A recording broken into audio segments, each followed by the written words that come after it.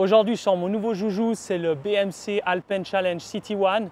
Et rien de mieux pour vous parler de ça, tout simplement, que la Swatch System 51.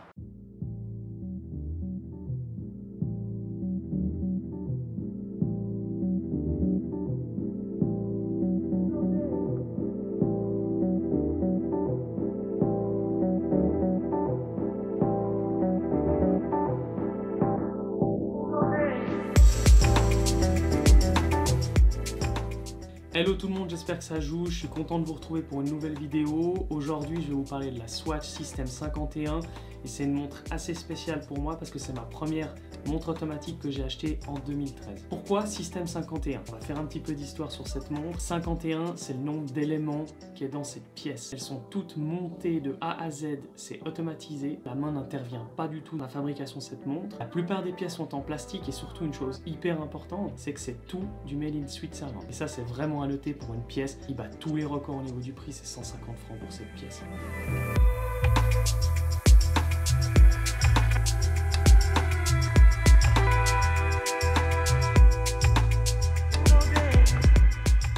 Je tenais à vous parler de cette montre tout simplement parce que c'est la première montre automatique que j'ai achetée en décembre 2013. Et déjà à l'époque, j'ai dû la commander. Donc je m'étais mis presque plus d'une année en liste d'attente. C'est pour ça que ça me fait un peu rigoler parce que maintenant on a énormément de liste d'attente pour pas citer Rolex, Audemars Piguet et Patek Philippe sur les modèles sportifs. Est-ce que c'était les prémices un petit peu des Wanted Watch? Je sais pas, mais ça me fait rire parce que ça existait déjà en 2013 sur cette montre là. Et si je voulais le modèle bleu que j'avais réservé, qui est un petit peu le modèle phare de cette System 51, alors qu'elle était déclinée en rouge et en noir aussi, et eh ben c'est que ceux qui l'avaient précommandé qui pouvaient l'avoir. Et les autres, malheureusement, devaient se rabattre sur une pièce rouge ou noire. Finalement, déjà en 2013, ça existait déjà un petit peu cette envie de susciter l'intérêt et la rareté de la pièce, même pour une pièce à 150 francs.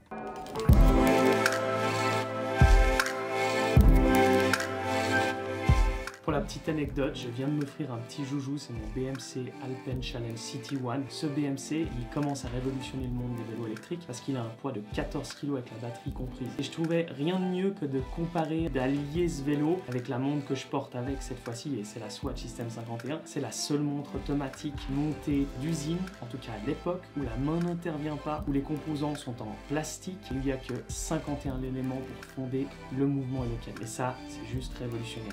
Vous me connaissez bien, je suis amateur des montres avec des mouvements manufacturés, mais finalement je vous parle de ça qui est quasiment un grand écart et le complet opposé, parce que je trouve aussi sympa, je trouve intéressant sûrement aussi pour l'évolution de l'horlogerie. On a aussi quelque chose qui est complètement automatisé sur des chaînes de production, avec des mouvements qui est fait en grosse partie en plastique, même la masse oscillante, et c'est 51 éléments qui composent le mouvement, alors que d'habitude on est sur des centaines d'éléments. Et Swatch Group a sûrement dû énormément travailler sur ce projet, c'est quelque chose qui va servir dans le futur et qui va être repris si ce n'est déjà fait.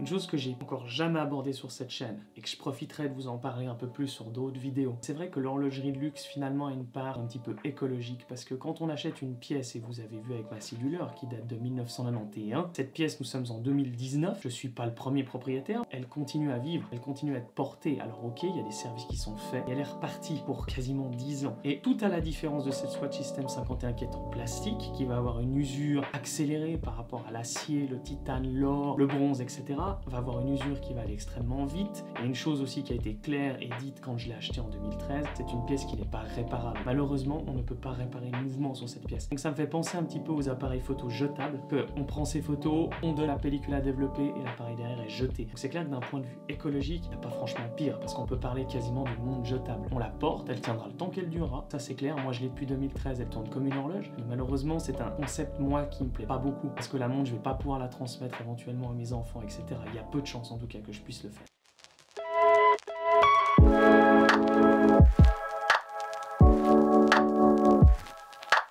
Cette chaîne, de toute façon, on a envie de tout explorer. Dans le milieu de l'horlogerie, il y a de tout. Il y a du fait main 100%, il y a du pas fait main absolument pas et tout usiné comme cette Swatch. Et le but, c'est aussi de tout découvrir parce qu'on peut trouver des choses intéressantes un peu partout. Toutes ont le mérite d'être observées, d'être regardées, appréciées ou pas, ça c'est une question de goût. Mais nous, on est aussi là pour vous montrer une chose et peut-être le complet opposé. On parle pas du monde de luxe, absolument pas, et c'est pas ce qu'elle prétend être, ça n'y a pas de doute. Par contre, elle fait tout son effet, le caoutchouc avec lequel elle est livrée avec des surpiqûres bleues bleu qui rappelle la couleur du cadran et du bezel. Franchement, hyper sympa, fond transparent. Attention, c'est du plastique sur le verre, donc c'est extrêmement rayable. On peut aller se laver les mains avec, on peut la porter pour aller faire du sport, etc. Et si vous aurez le moindre pépin, vous pouvez déjà savoir que c'est une montre qui va aller à la poubelle, malheureusement.